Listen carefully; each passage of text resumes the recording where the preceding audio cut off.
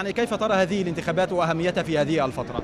الحقيقة أنا فخور جدا بالنظام اللي اتعمل للانتخابات شيء مشرف جدا للكنيسة وكل مصر آه، كل حاجة ماشية بهدوء وبسلام وبطريقة منظمة جدا على أعلى المستوى العالمي. آه، وأنا فرحان جدا إن الكنيسة قدرت تنفذ حاجة زي كده.